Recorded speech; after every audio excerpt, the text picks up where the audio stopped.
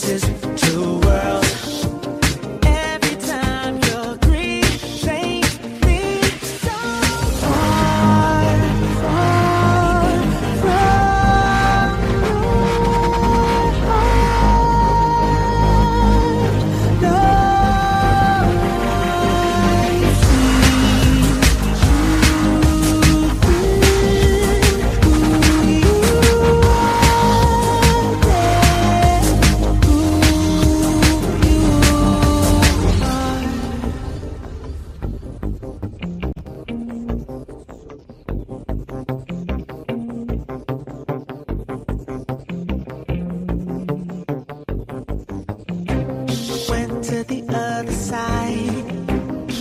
Still green.